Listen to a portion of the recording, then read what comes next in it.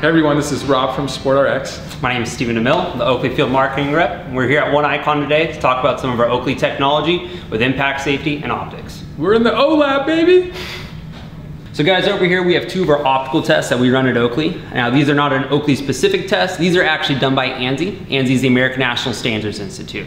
Now these tests that we're showing you today are actually used for safety eyewear, and us being a sports performance eyewear brand, we're actually not required to do these tests. But we do know it's beneficial for our athletes, our customers, as well as the military to have this technology in the eyewear.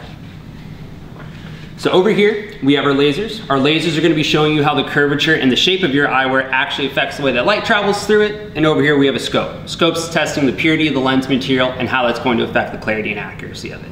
So the first test we're gonna be showing you guys today is gonna be our laser test. The laser is gonna be testing for the curvature and the shape of your eyewear and show you how it affects light as it passes through that curved surface. So what this test is actually doing is it's replicating your left and your right eye, focusing on a point about 15 feet away. Although it does look like it's one laser, it's actually two meeting up at this point. Now ideally when we take a set of eyewear and we put it on that head form, we wanna see those two lasers stay right there at that one point. Now we're gonna start with competitor eyewear today. We're gonna talk about a couple different design aspects of them and how they could possibly cause issues for your eyes. First issue we, we find is curvature. It's outside bending part of the frame. It's used for two reasons. Mainly protection from dirt, dust, wind, sun, anything you guys may encounter when you're outside, but also aesthetically it looks nice, so companies choose to use it. Creates an issue for us though. This is known as prism or the bending of light. So as light travels through this eyewear, it wants to follow this curvature.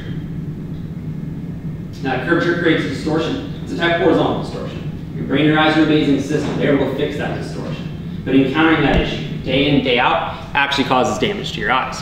Short term, probably gonna have some issues with some headaches, lack of focus, but in the long term, we could see some eye damage from it. Now, another issue we do find in the design of competitor sunglasses comes from the rake. The rake's the downward tilt to the lens. That's used for two main reasons, mainly impact protection. It goes ahead and deflects objects down away from the eye, so it doesn't make a flat contact, but again, it looks cool, so companies use it. This creates another issue for us. This is known as prismatic imbalance or vertical distortion. It's much more difficult for your eyes to correct. Your eyes actually flex upwards of 100 times a second, trying to rebend that light directly onto your retina. Now the eye muscle is the only muscle in your body that you guys use every single day, but it's never gonna get stronger. It's actually constantly deteriorating, and that's just rapidly speeding up that deterioration. Now we do have one more issue that we do find in the design of competitor sunglasses.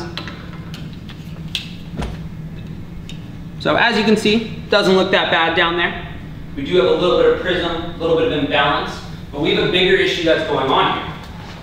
As you can see the left and right lens, they meet up about two feet before they're supposed to. Slightly thereafter, they cross over.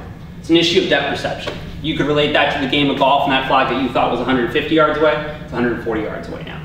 But it's not just an issue of messing with your golf game, damaging your eyes. You could also relate it to road cycling. If you're riding a bike at 30 miles an hour, and you slightly misjudge a turn, you could cause some severe bodily harm. So just some issues we do find in the design of competitor sunglasses.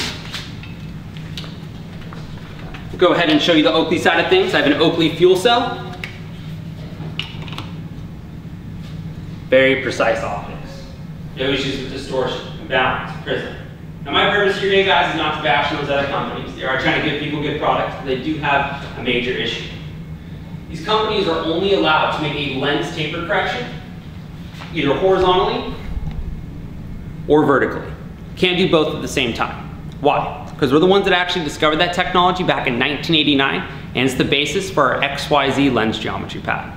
Now what XYZ stands for is making a lens taper correction across the x-axis horizontally, the y-axis vertically, and z, your thickness. So XYZ is an optical center. That just means it's the thickest part of the lens, therefore it tracks the most amount of light.